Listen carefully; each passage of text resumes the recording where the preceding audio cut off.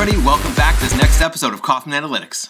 Let's talk about this latest release from Microsoft Excel, Lambda functions, what they are, how they work, and how we can use them in our day-to-day operations. As you can see here, the lambda calculus is an elegant notation for working with functions of applications to arguments. Stop, wait, no, we're not doing any math today, hold on. We're gonna keep this really simple. You know that when you work with Microsoft Excel, there's a, a, million canned functions out there, a million that come with Microsoft Excel. You've got sum and if, or, and, VLOOKUP, HLOOKUP, SUMIF, if error, etc., etc. But what if you want to build your own function, your own user-defined function? Previous to Lambda existing, you needed to use VBA for that. You needed to write some code, but no more. Lambda allows you to write your own custom functions without any code whatsoever. And you only need two pieces of information, your input names and your calculation. In other words, the relationship between those input names. Let's take a look at a really simple example here. Go ahead and if you have the latest version of Microsoft Excel 365, open up an Excel workbook. And to begin, you're just going to type equals lambda open parentheses. Here's where we have to define our parameters. So I'm going to say x and y. Now I'm going to define the relationship that I want to establish between x and y. So I'm just going to say x plus y. Now I'm going to close my parentheses and then I'm going to open up a new new bracket here and I'm going to say that I want to add 2 and 3. And you see that the answer is 5. My x and y can also live outside of my lambda. I'm going to go ahead and type um, 2 here and 3 in column D4. And then I'm going to change this so that these integers are not in the function expression itself, but now reference other cells. D3, D4, and it gives me 5. The thing about lambdas is that they're what are called anonymous functions, right? But what if we want to give this function a name so that we can use it later on?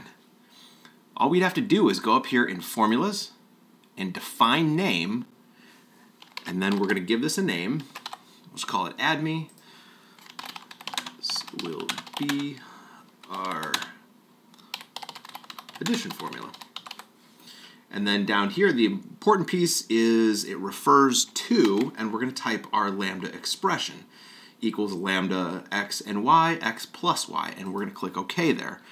Now we have a reusable formula that we can that we can use anytime we want without having to type that whole lambda expression over again.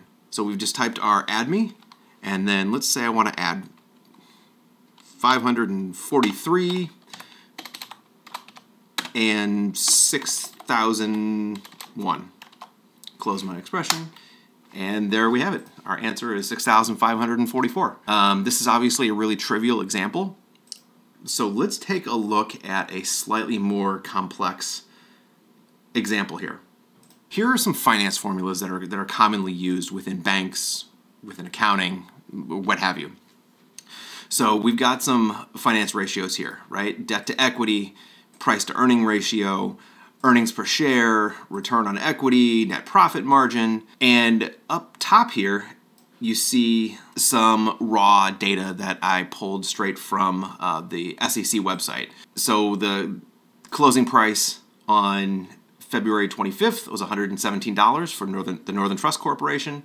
Here's the market cap, the shareholder equity, long term debt, shares outstanding, net income for the fourth quarter of 2021, and the net income for the entire year of 2021, and then the revenue for the fourth quarter of 2021 is again.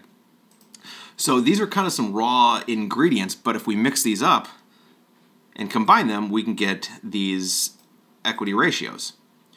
So here's how you would just do it in, in Excel. I mean, they're not complex by any stretch of the imagination. I mean, this debt to equity ratio is just the total debt divided by shareholders' equity. The PE ratio is just the share price uh, divided by the earnings per share. So this isn't exactly rocket science.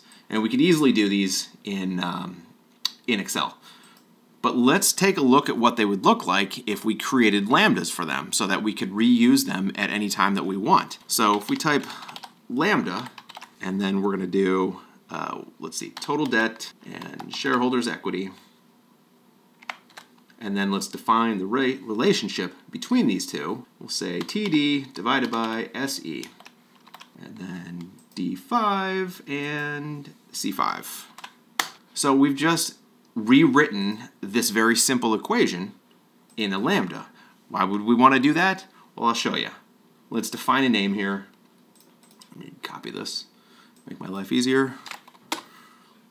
Let's define a name, and we're just going to call this debt to equity.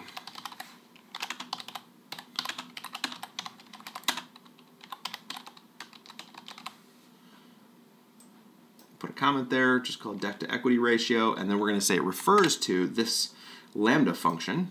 And now over here, if we ever want to reuse that, we can simply say equals debt to equity, and then we need to put our two parameters in, D5 and C5, and it gives us the, the correct output. So this is a really, really simple example, but in finance and accounting, you get some really gnarly long formulas, right? So this is this is an example where there's only two inputs, but what if we had 12 do you really want to retype an equation, a calculation with uh, 12 variables and try to remember the relationship between all of them over and over and over again if you have to complete a report daily or monthly, quarterly, etc. No, you just want to do something very simple. That's the power of Lambda. So let's go through a couple more here. So the price to earnings ratio is simply the share price divided by earnings per share, and we're going to calculate our earnings per share by taking the net income for all of 2021 and dividing it by the shares outstanding. We could type lambda, and then in this case, we want three variables. The share price, the net income, and the shares outstanding, because that's how you calculate the earnings per share. It's the net income divided by shares outstanding. So it will be the share price over net income divided by shares outstanding. And then for those values, we're going to use A5, G5, and E5. Close that. And it's giving me an error. Why is it giving me an error? Ni over SO.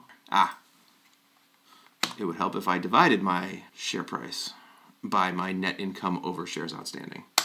There we go. And now if we want to translate that into a formula that we can reuse, we're going to go up here and define name. We'll call this our PE ratio. Function to calculate PE ratio.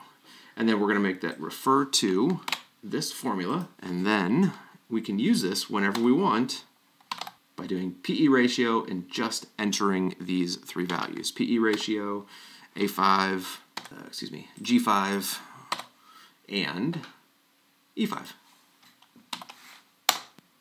There we go. Make this a little easier to read here. So in that way, we've just typed in three values and come up with our PE ratio. I'm to do another, another example here. For our earnings per share, the earnings per share is the net income divided by outstanding shares. So we'll type lambda, NI, SO for shares outstanding, and then NI divided by SO. And then for our values, it will be net income and shares. Oh, and I used the net income for all of 2021 instead of just the net income for the fourth quarter. So make sure you're only doing a quarter at a time. There we go. The EPS for Northern Trust for the fourth quarter of 2021 was 1.96. Let's translate this into a reusable formula call this EPS. Our lambda right there. And we can reuse this now. Oops. Two, we need two variables, an i and shares outstanding. And there we go. Let's do another one here. Let's do our return on equity. Lambda is going to be NI and SE. NI divided by SE is the relationship between net income and shareholder equity that gives us a return on equity. For that, we're going to use net income and shareholder equity. Oops, again, I used my fourth quarter instead of my full year. There we go. Let's turn this into a formula that we can reuse. Call it ROE.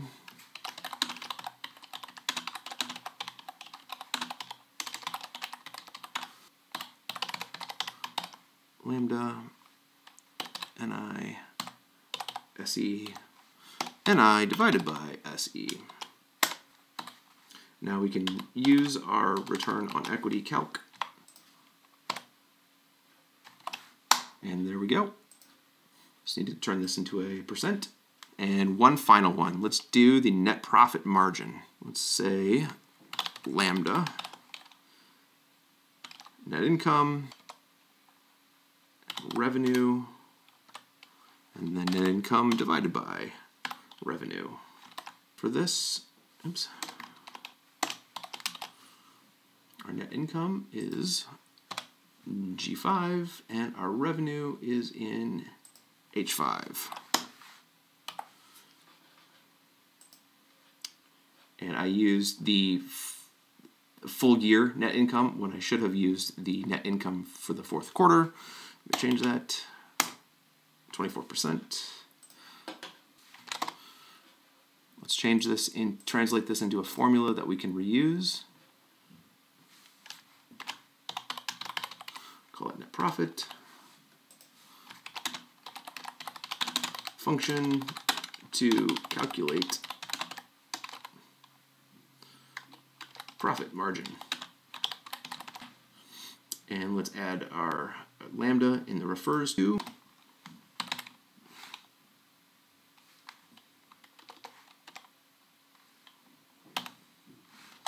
And now we can use this, net profit, NI,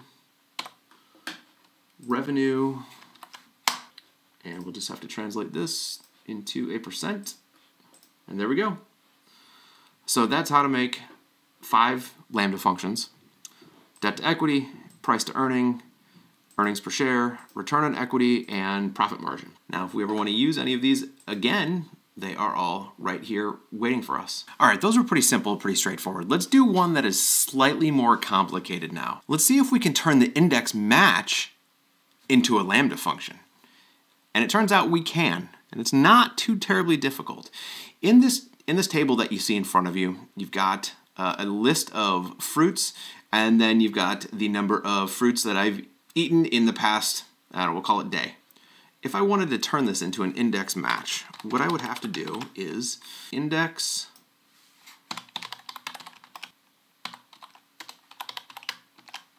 pair index lookup array 0 2. There you go. The number of pears I've eaten is 6. We wanted to change this to peach, it would be 32. Pretty simple, pretty straightforward. I think most people understand how the index match works. But what if I don't like the syntax of index match? What if I don't like typing all of this out? What if I wanted to simplify this just a little bit using a lambda function? Turns out we can we can do that. But what we need to do is we need to specify our index array, our row number, our match, our match lookup value, our lookup array and the match type. And we can do all of this by doing lambda. And we'll do uh, big, which will represent our index array, and then we'll do value, which will be our variable for um, lookup value, and then we can do little, which will be our match array, and finally we can do column, which will return the column that we would like to match to. And then the relationship between them will be index, big, match, value, and little, and then column. C7 to D16 will be our index array, or what we're calling big here, because in my mind that's the, the big array. Now we need our lookup value, and we'll look up the number of strawberries I've eaten, so that's C10. Now we need our match array and the column because we want to return the second column in the index array, which is eaten. And there we go. Now, let's translate this into something that we can reuse because we've got our lambda function here. We've got our lambda function that replicates an index match. And this actually ironically looks even uglier than the regular index match, but as soon as we give this a name, it will look better. We're to call this index match. And our comment is that this is a function to mimic the index match nested function. We're going to make it refer to this lambda that we've typed out. Now, here's the magic. When we use this newly created function here, we only have to enter four values, which is really cool. So index, value, well, let's look up uh, blackberries this time. Our little is our match array, and the column we want to return within the index array is the second one. There we go. So there we have it. We have greatly simplified the kind of complex syntax that it, the nested function of index match typically represents. And we've made this a lot, in my mind, a lot cleaner, a lot easier to use. So that's how you do that one. Let's take a look at one more example to demonstrate the power of uh, lambda functions in Excel. Let's create a lambda function that counts the word in a string text. So let's say if I have a sentence like, I love lambda functions. Now you can quickly count this. This is four words, I love lambda functions. But if you had a paragraph, you'd want something to be able to count uh, words very, very fast, okay? So let's type a function that will calculate the number of words in that text string. And we can do that by typing lambda and our one input here, our one parameter is going to be text. And how we're going to use that one parameter is len trim text minus len substitute trim text.